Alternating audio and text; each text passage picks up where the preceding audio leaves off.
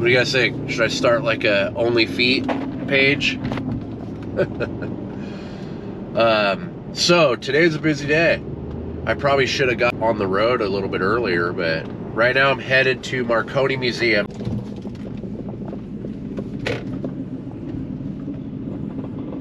Well, made it to Marconi. Gonna go check it out. It's been uh, been a few months since I've been here. I'm a big Ducati guy too. I love these old. I love the triple nines of this generation. That's like the last hand built Ducati. This is my favorite bike. I actually made an offer on one of these. I might be picking it up when I get back in Washington. The Tricolor. Beautiful bike.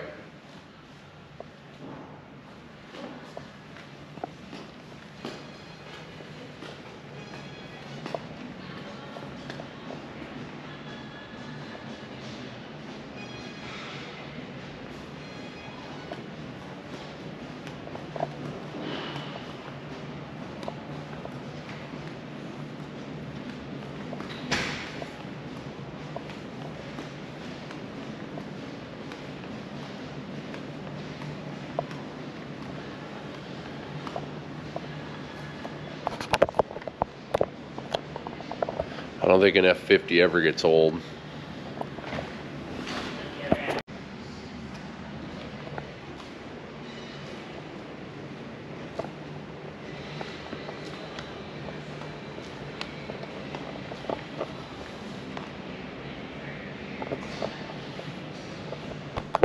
What a crazy car.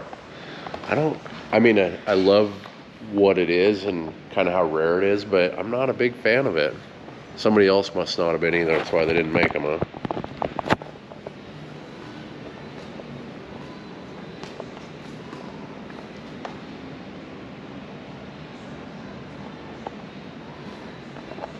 I kind of want to pick one of these up and make a street car out of one. I looked into it a little bit. I mean, you have to have all your turn signals, your brake lights. Um, you have to have fenders. But I mean, I feel like it's worth kind of modding one to be able to run around on the street.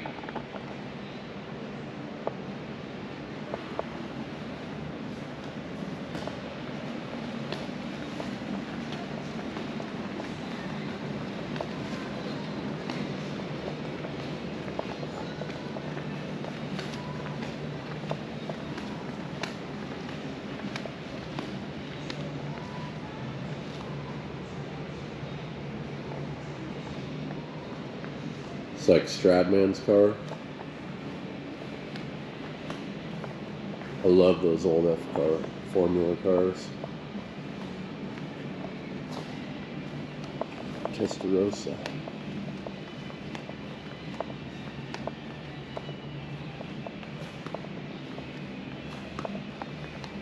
What a crazy car.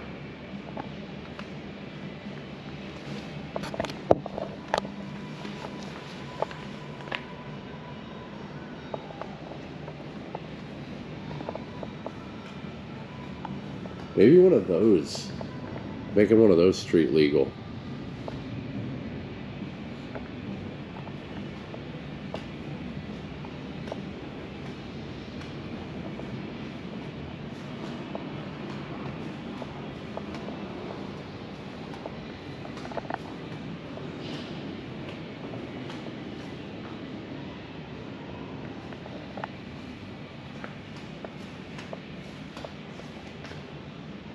I've got a couple fire trucks.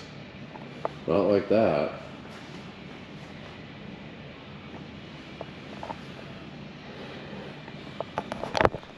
That looked just like mine. It was red, black stripe on the bottom of it.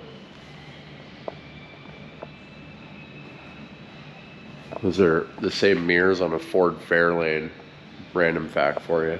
Campagnolo wheels. I'm surprised they don't have the 10 inch campies on the rear. It's just got the 9 inch rear wheel.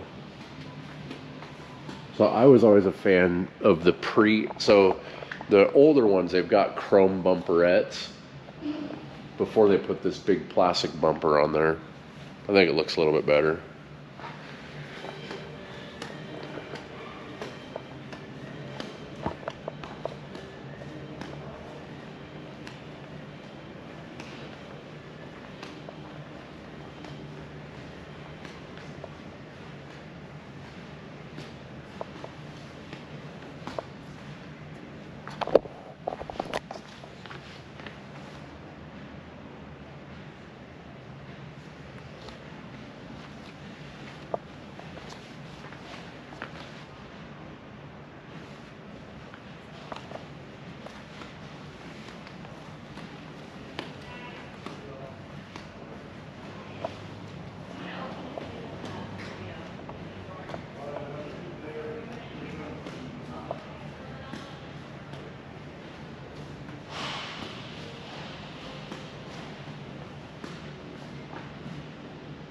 What an amazing car.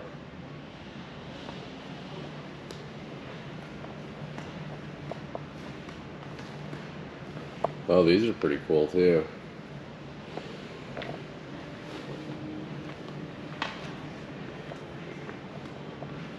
I mean, does anything touch an F40? I don't know that anything's as cool as an F40. Except this right here.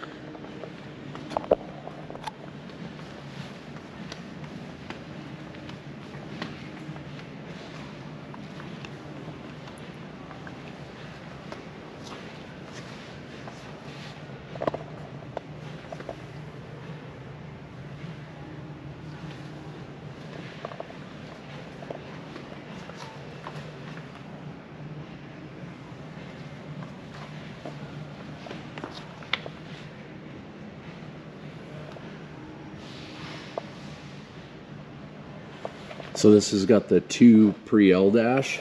I'll go to the other side over here so you can see what I'm talking about. The pre-L dash has got two pods.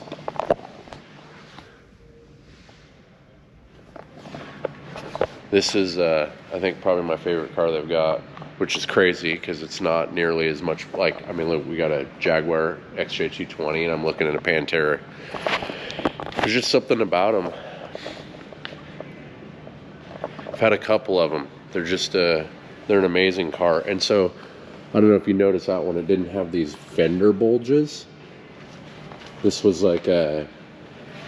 This is the way I would do mine. Um, I want. I've actually been talking to Rob about picking his up, and so I think what I'll do with Rob's is wide body it like this. It's just a nice. It fits the body lines. I think it's a nice edition. And then you got these big old monster tires on it. They call these headers a pile of snakes. Beautiful.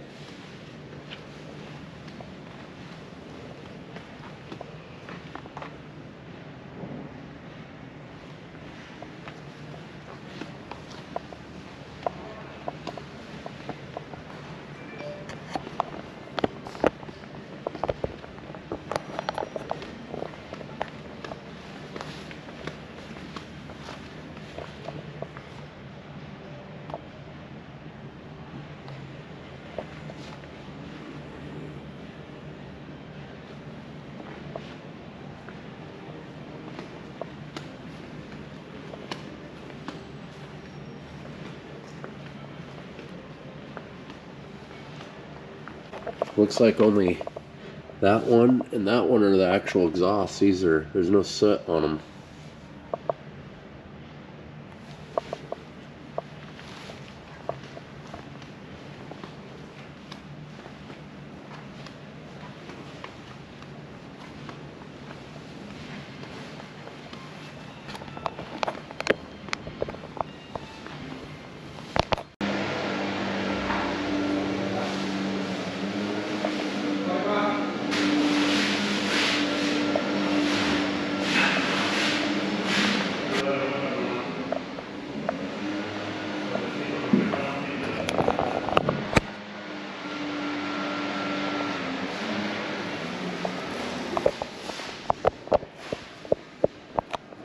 What my car looks like with no engine in it.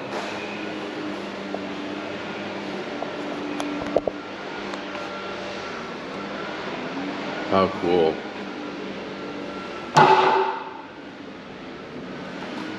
Ford GT.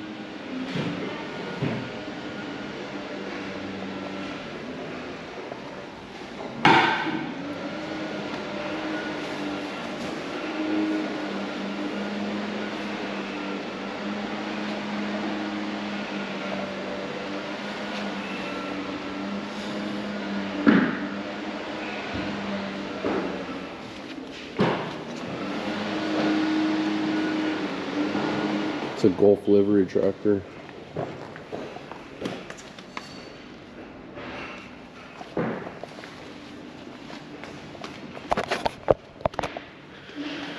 It's basically your guy's car.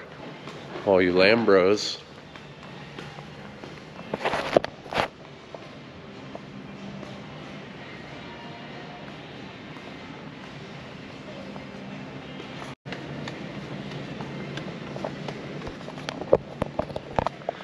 So this car here, I've actually never had a Boss 302, but I've had 13 69 Mustangs. Um, I've had Mach 1s. I've had my first driving car that I was allowed to drive when I was 16 years old was a 69 Coupe. Um, it had a 351 modified in it. And then uh, blew that motor up and I put, I found a 70 XR7 Cougar, which had the quenched head 11.7 to 1 compression, 351 Cleveland, four bolt main. The, they call it the Dove Cleveland. Uh, the D was the gener like the decade the, that was the way their VIN numbers worked. The ABCD generational code. The second letter was which year within the decade. So it was they called it the Dove Cleveland, the 70 Cleveland, which was the 11.71 compression, all the all the boring stuff. But that engine there, I kind of fell in love with that engine. I put it in my 69. It was an amazing engine. And um, through my Mustangs, I had a bunch of different Mustangs but falling in love with that motor, I found out the, the Panteras had the same engine, uh, quenched head, Cleveland. So that's why I got my first Pantera. And then once I got a mid-engine car, I was like, what is a muscle car? And I feel guilty about it because they're beautiful. I mean, it's what a cool, cool looking car, right? It's got so much personality. I love all the old chrome bumpers and all the trim. I mean, they're just inset rear back window. I mean, all these old cars are just amazing. But unfortunately, they don't do a ton for me anymore. You kind of go through phases, right? Right now, I'm, I'm a little more into the exotic cars. Um, the Ford GT will always be my favorite because it's kind of a mixture of that European design with the mid-engine, which is where the engine belongs if you're going to go faster on corners. But yeah, it's a cool museum. If you guys haven't been here, I definitely recommend you checking it out. All right, now I'm heading up to Petersen's. I'm gonna see a lot of cars today.